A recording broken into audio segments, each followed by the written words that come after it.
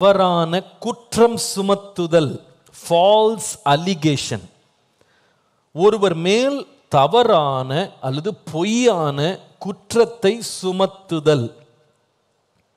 ரொம்ப ஆச்சரியமா இருக்குங்க. யூதர்கள்லாம் வந்து பிலாத்துவிடத்துல போய் இயேசுவை பற்றி சொல்றாங்க.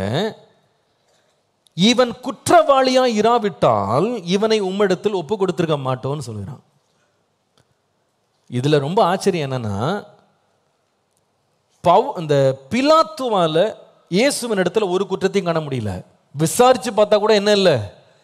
குற்றம் இல்லை சொல்றாரு இவரிடத்துல ஒரு குற்றத்தையும் நான் காணேன். ஆனா கூட அடிச்சார் வாரநாள் அடிச்சுட்டு திரும்பவும் சொல்றாரு மரணத்துக்கு ஏதுவான எந்த குற்றமும் இவன்கிட்ட இல்லை. ஆனா அவங்க ஒத்துக்கவே இல்லை. இவன் குற்றவாளி. குற்றவாளி குற்றவாளி குற்றவாளி. இதையே அவங்க என்ன பண்ணாங்கன்னா இயேசுவின் மேல் பழி சுமத்திட்டே இருந்தாங்க.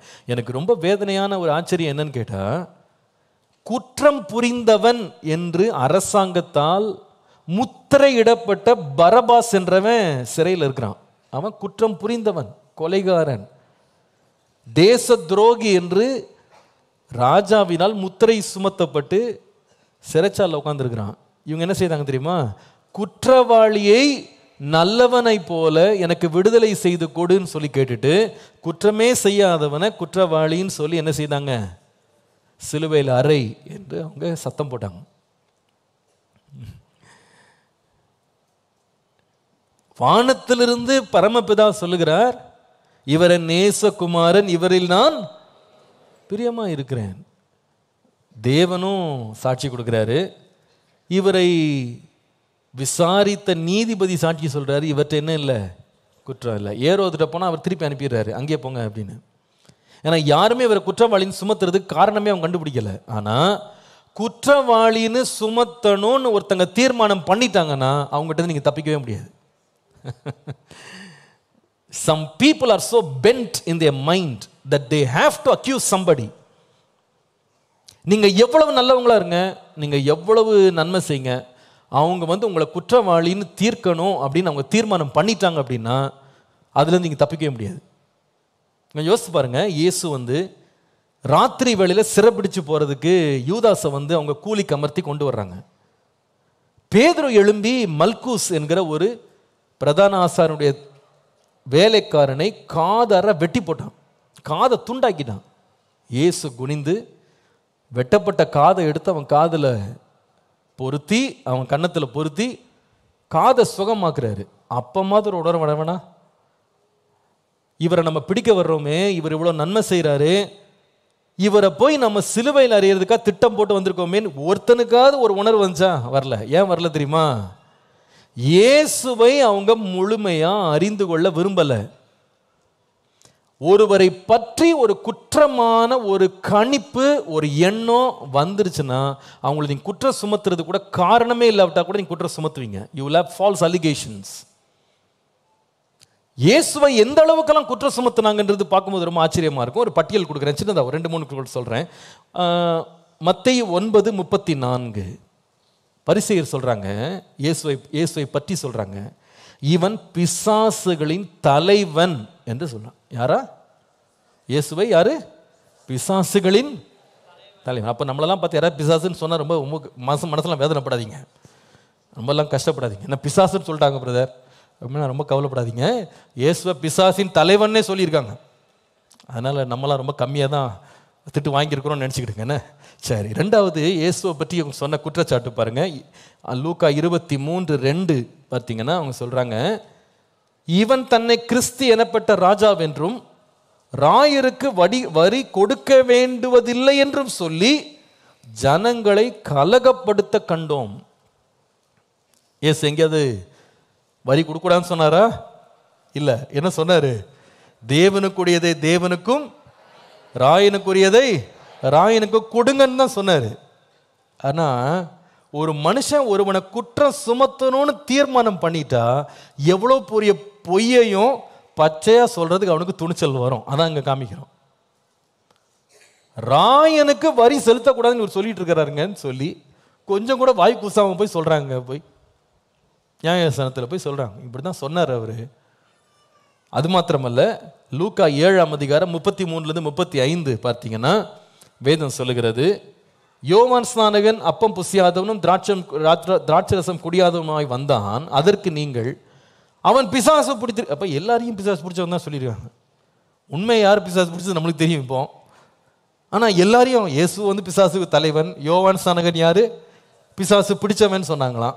ஆனால் இப்போ இயேசு வந்து புசிக்கிறவராகவும் குடிக்கிறவராகவும் வந்தார். அப்போ உடனே என்ன சொல்கிறான் போஜன பிரியன் மதுபான பிரியன் ஆயக்காரருக்கும் பாவிகளுக்கும் சிநேகிதன் அப்படின்னு. அதாவது ஒரு ஆளை வந்து நீங்க பிடிக்கலை அப்படின்னு சொன்னால் அதுக்கப்புறமா நம்ம என்ன சொல்கிறோன்றதுக்கே ஒரு அளவே இல்லாமல் போயிடும். என்ன வேணாலும் வாய்க்கு வரதை சொல்ல வேண்டியதுதான். வாய்க்கு வரதை சொல்ல வேண்டியதுதான். நீ பாருங்க நல்லா கவனிங்க. There are some people who criticise you because they really love you உங்களை ரொம்ப நேசிக்கிறதுனால உங்களுக்கு குற்றங்களை வந்து எடுத்து சொல்கிறவங்க சில பேர் இருக்காங்க. புரியுதுங்களா? அவங்க உண்மையாக உங்களை நேசிக்கிறவங்க. ஆனால் இன்னொரு கூட்டம் இருக்குது நீங்கள் எவ்வளோ நல்லது செஞ்சால் கூட அவங்களோட அன்பை நீங்கள் அவங்க பாராட்ட நீங்கள் பெறவே முடியாது. ஏன்னா உங்களை வெறுக்கணும்னு அவங்க வந்து தீர்மானம் பண்ணிட்டாங்க.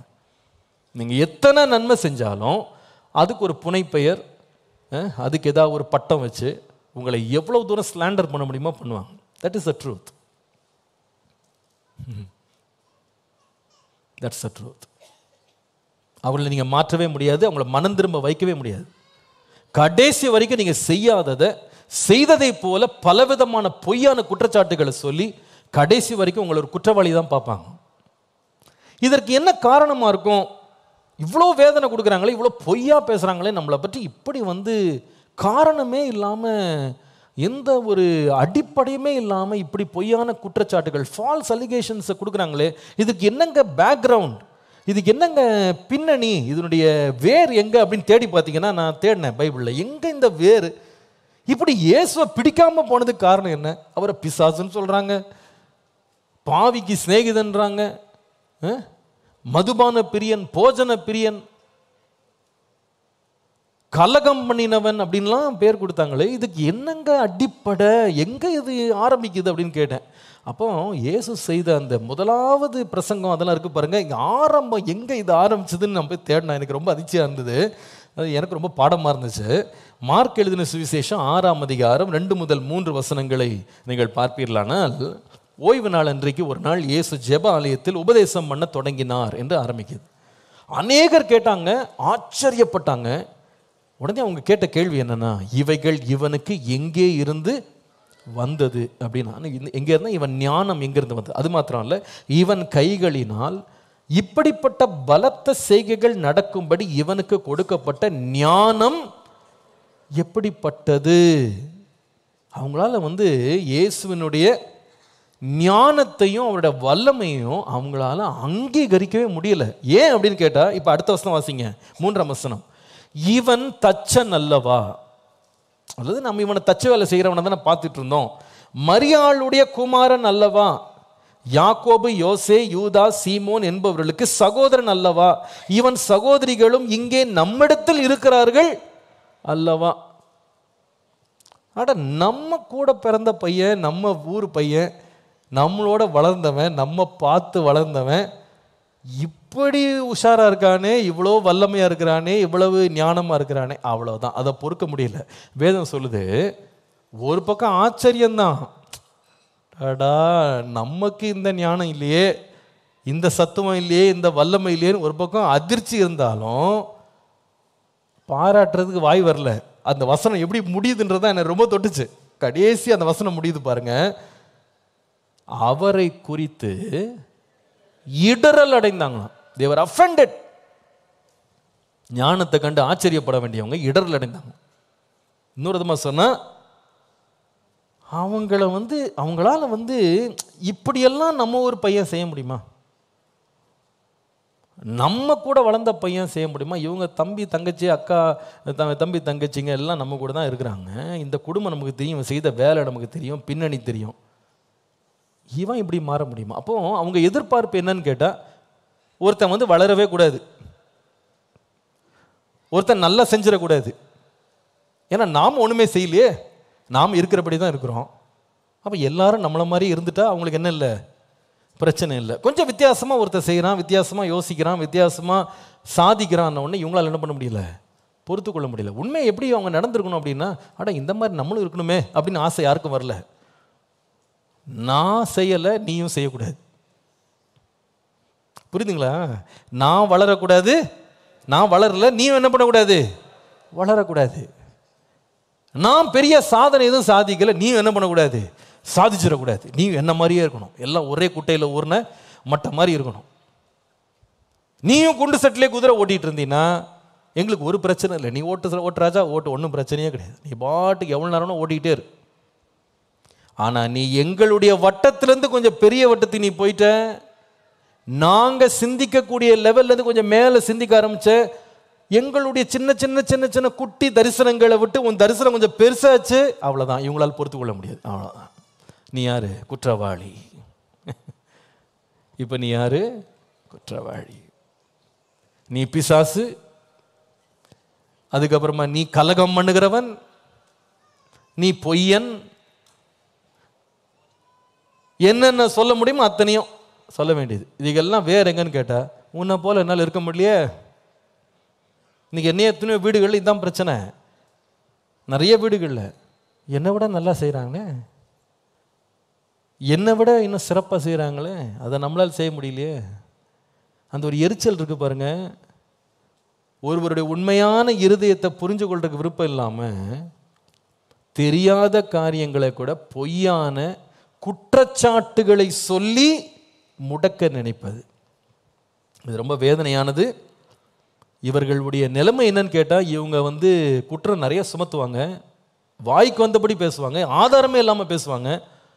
ஆனால் என்ன பிரச்சனைன்னு கேட்டால் அவங்க வேதனையான நிலைமை என்னன்னு கேட்டால் இவங்க ஆயிரம் வருஷம் இதை பற்றி பேசினா கூட ஒரு இமி கூட வளர முடியாது அவங்களால. அதை நினச்சி நினச்சி இன்னும் வேதனையாகிடும் அவங்களுக்கு. ஸோ உங்களுடைய ஒவ்வொரு வெற்றியும் அவங்களுக்கு எப்படி இருக்கும்?